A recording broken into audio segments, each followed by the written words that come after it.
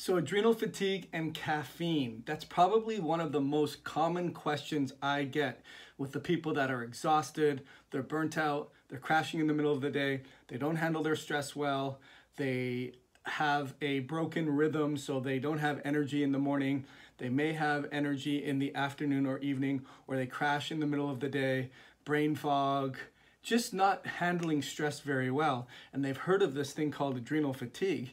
And whether they believe it's real or not, they ask me, hey, should I be using caffeine? So that's what I want to answer for you today. So first and foremost is let's discuss the term adrenal fatigue. Adrenal fatigue is a very, very common common question that people don't believe is actually real, especially the medical establishment, traditional doctors, medical schools, and even the peer reviewed research articles that come out that say there's not really an adrenal fatigue phenomenon per se meaning that if you have exhaustion and burnout and you go to the doctor and they do an ACTH stimulation test and they find out whether or not when they send signals from the brain to the adrenals, are the adrenals making the stress hormone, mainly cortisol, at an adequate level? If they aren't, then that's called adrenal insufficiency. If they are, then those are normal adrenals. There's no such thing as adrenal fatigue in the allopathic traditional approach. So with that being said, adrenal insufficiency is a very, very uncommon thing. Not to say you can't have it, but it's an autoimmune disease. It's called Addison's, and it's when your immune system attacks your adrenal glands and actually causes it to break down so that it's not producing enough cortisol to get through the day. Cortisol being your stress hormone, which has many, many functions, but one of the main functions is to be anti-inflammatory, to help get energy into the bloodstream by breaking down stored carbohydrates and making sure that you increase your glucose levels, also producing the adrenal, adrenaline hormones so that you can rise up to the occasion and the fight or flight, and also helping to balance your minerals. That's mainly what the adrenals do, as well as sex hormones as well. So a lot of people that have exhaustion and fatigue, whether or not you want to call it adrenal fatigue, they have libido issues. They have drive issues. They don't have a lot of vigor and they don't feel like they're re repairing their body. So when they exercise, they feel that they don't bounce back or they don't have the stamina or they don't have the strength because again, when you're under a stress response that continues over and over and over again, whether or not the adrenals are producing an adequate amount of hormones to call it adrenal fatigue, you can still have these problems. I have plenty of videos on this channel. Make sure you subscribe, you turn on your alarm, give me a comment or a like so that you can go back and hear what I have to say about all those other things. But the topic of this conversation is caffeine. Can I drink coffee if I have adrenal fatigue? Or sometimes you don't even ask. It's just you rely on it.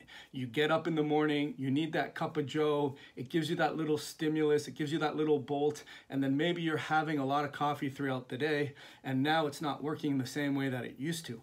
Or some people will tell me, I'm very sensitive to coffee. I can't even tolerate it. It's too jittery. Or some people feel like they can have it throughout the entire day and it doesn't cause them any challenges. And there's a lot of genetic components to it. We do a genetic test and there is specific genes, the CYP enzymes that help metabolize caffeine quicker. So those people may not be as stimulated from caffeine because they're very quick metabolizers of caffeine.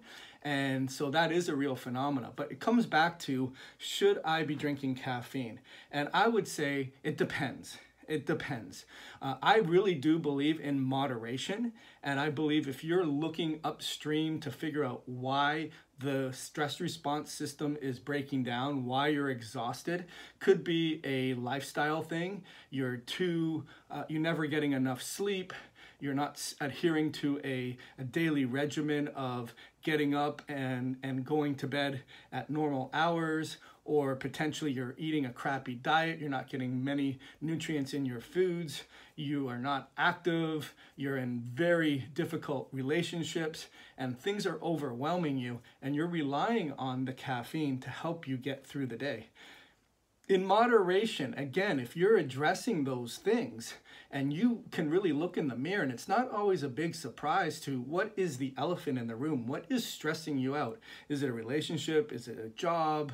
Have you had a past exposure to a chemical or a post traumatic stressor or a physical injury or, you know, toxins?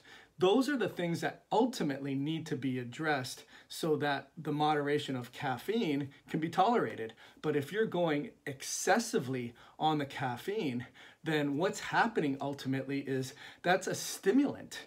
It's called a catecholamine, and those are the same catecholamine pathways that produce your adrenaline and your noradrenaline and your fight or flight system. So if you're constantly in fight or flight, you have a stressor and and your body responds in a way that's inappropriate meaning i shouldn't really have gotten that stressed out. I mean it was yeah mary told me about my son getting in trouble in school but to almost have a panic attack and to feel faint and lightheaded and not be able to get my heart rate down. Someone told me the other day it feels like they're on a roller coaster ride and they can't get off. And it's just that sort of that stimulating feeling. For those people, caffeine is not going to be a good idea because that's putting another oil to the fluid of fire and it's causing it to ignite even further. But I typically say, again, in moderation. Now, what is moderation? That really depends. It's different from different people. Some people can say, oh, I only have, you know, one serving of coffee per day, but it's in a big gulp size. And that's, that's too much as well. Typically, I see some other challenges with caffeine as well. So if you're using artificial sweeteners, Sweet'N Lows, or uh, other things that are aspartame, those are things that are going to be giving you um, glutamate exposures. And that glutamate exposure is going to create more excitability than the caffeine alone. And I would say don't use that. A black cup of coffee is perfectly okay if you're doing it in moderation again. Now, some people will say, well, I only put a little cream in it. Is that cream organic cream? I know the organic thing, should I be doing organic or not organic? But if you look deep into the studies of non-organic dairy, it's really gross. I mean, it's pus, it's fluid, it's hormones. Is there hormones in there? Um, it, it, can be very, very debilitating, not to mention you could have problems with break, breaking down lactose because you don't have the ability to break down that sugar, or you may be re responding to the protein because the protein, the peptide, is very inflammation driving, and that can create more excitability in your body. If you're using artificial sweeteners again, or you're using a different non-dairy creamer that has like maple walnut or some kind of cinnamon spice with peppermint dolce, you know that's going to be artificial and that's going to be stimulating you quite quite severely and that's not effective either. So you want it to be as unadulterated as possible I would also say that the bean, now I'm sorry that you're watching this video and you're getting more information than you probably anticipated because you're like, hey, I just want to know, is it good or not good? And I'm telling you, in moderation, it could be good. If you're in that fight or flight mechanism and you can't get off the roller coaster, whether it's unadulterated caffeine or not, you shouldn't be doing it because you need to help to repair your stress response system. And then you need to look at how adulterated is it? Is there artificial sweeteners? Is there a non-organic, pus-filled, yucky, or uh, antibiotic-laden um, creamer? Um, or is the coffee bean. Now the coffee bean, a lot of the times, unfortunately, the coffee bean can be quite moldy and that mold can create major mycotoxin exposure in your body, thereby creating more damage to your stress response system. And now that coffee is not helpful that's a that's a third thing. So we have to really think about making sure a we're getting it in moderation. B we are making sure it's unadulterated. And that means the now some people will say what about sugar?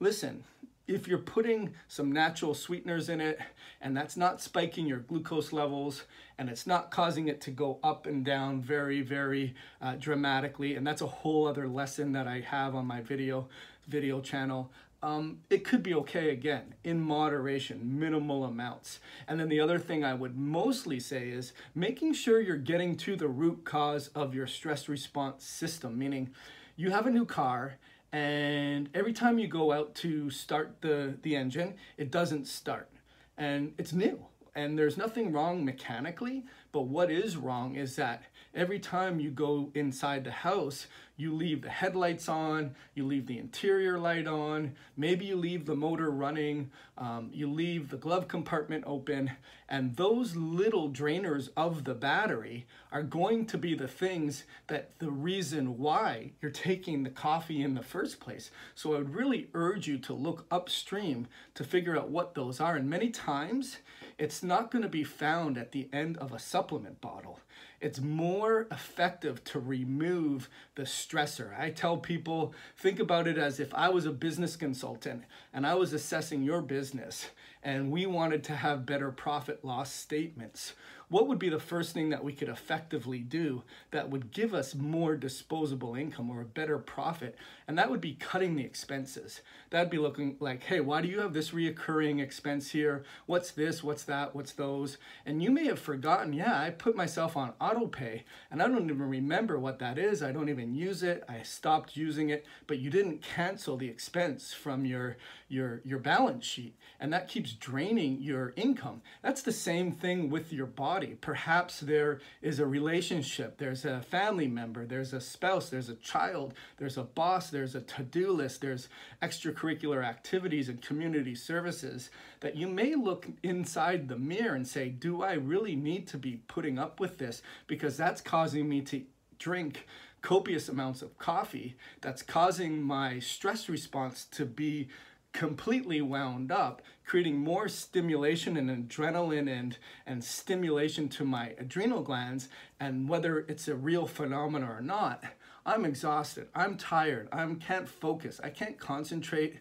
I crash in the middle of the day and I'm doing this vicious cycle that's draining the battery even further while I don't even look at the mirror and figure out why. What's the main cause? So hopefully that gives you a lot of help as to if coffee is good or if it isn't good. My name is Dr. Joel Rosen. I help and I teach exhausted adults the truth about adrenal fatigue so they can get their energy back quickly. Make sure you subscribe to the channel. Make sure you check out the links below so that you can have additional resources to get your energy back fast.